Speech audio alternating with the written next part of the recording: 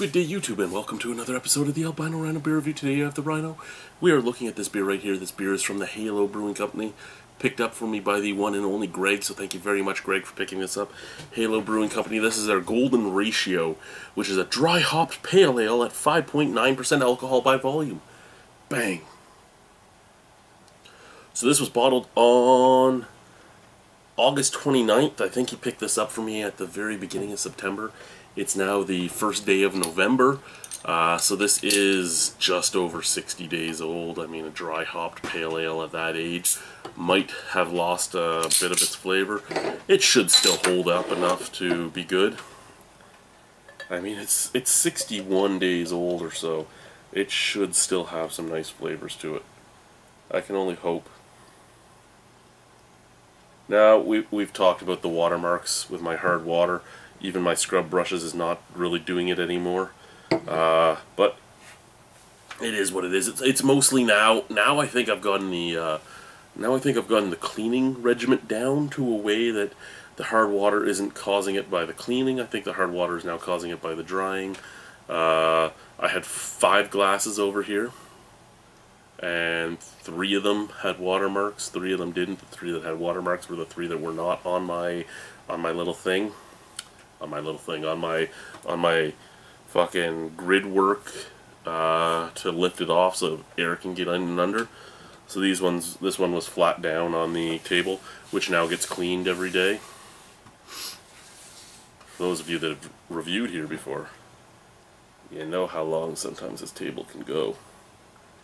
It's part of the fun of the table. Okay, so there we go. Beautiful haziness to it.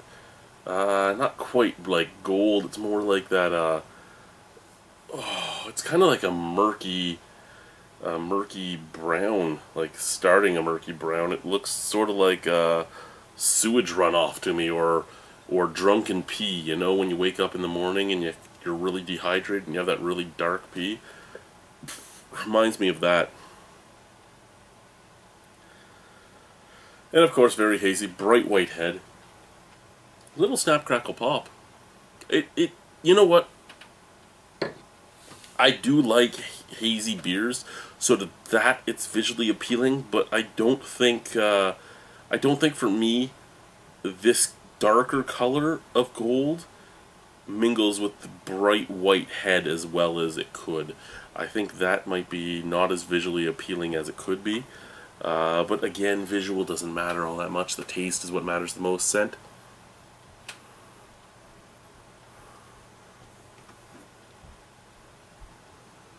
Okay, this is this is a strange one because this is this is syrupy sweet, like malty syrupy sweet, which I don't like. It is there's some orange and some uh, passion fruit, which I do like, and then there's that like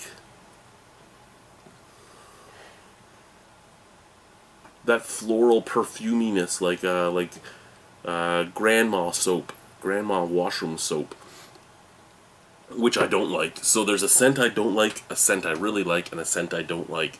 So I guess uh, I guess we can say that that it's mid-range for scent for me because the scent that I do like I really do like and the two scents I don't like one of them is meh and the other one just reminds me of going into my grandmother's washroom and yeah let's try it cheers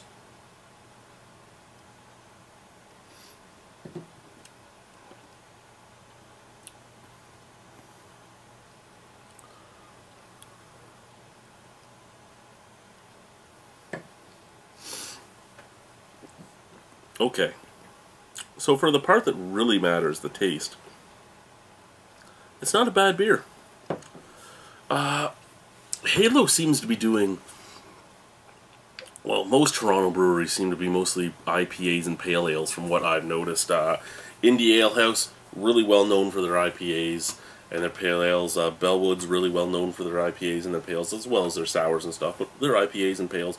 Roman Candle, Cat Lady, uh, Witch Shark, Halo seems to be the same thing. He brought me a bunch of beer from Bandit, and most of those are hoppy beers. Uh, I mean, GLB, Robo Hop, and uh, all that sort of stuff. Citra, uh, what's a Citra Diction? Uh, they have like they're well known for their hoppy beers as well. There's just so many breweries in Toronto that are well known for their hoppy beers uh, that I think it's almost an almost overdone thing in Toronto.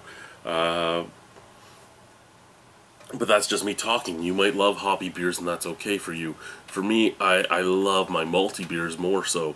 Uh, is this a bad hoppy beer? No, it's not a bad hoppy beer. I just, I just, I, am looking over at the floor of, of the 18 beers he brought. Now I still have, uh, I still have what, uh, 10 at least, and they're for the most part all hoppy, and I'm a little, a little saddened by that, to be honest with you.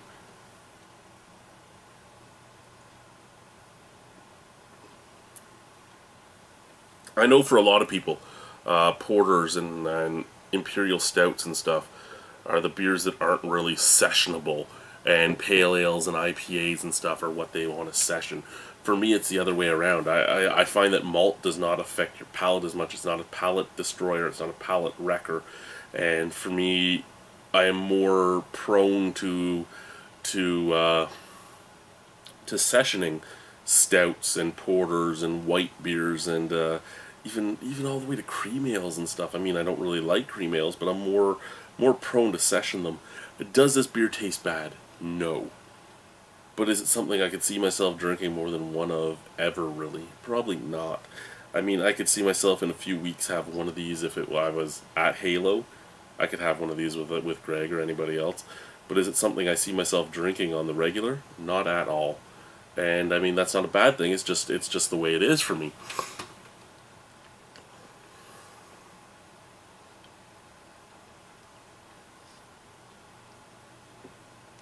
So medium bodied, low carbonation though.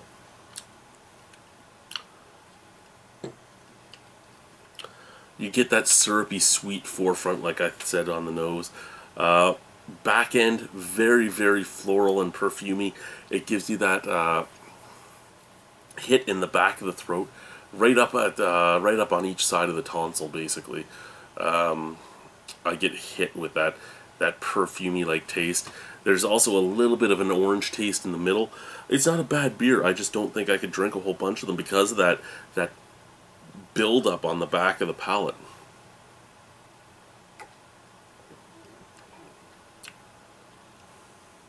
Yeah, with each sip, it seemed to build up just a little bit more on the back of the palate. Um, do I hate it? No. Do I love it? No. Would I drink it again? Under certain circumstances. Do I think Radio, uh, sorry, uh, Golden Ratio is a bad beer? No, I, I think it is a well-made beer. I just don't think it personally fits my flavor profile, and that's okay. Out of 10 on it, I would personally give it probably a 6.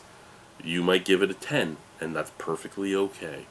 I am okay with that. It means there's more of it for you, because I can drink a shitload of beer, and if I don't really like it, it leaves you with a lot more stuff to drink. Thank you guys for watching. Have a wonderful evening. Thank you, Gregory. Halo's golden ratio. Bye-bye.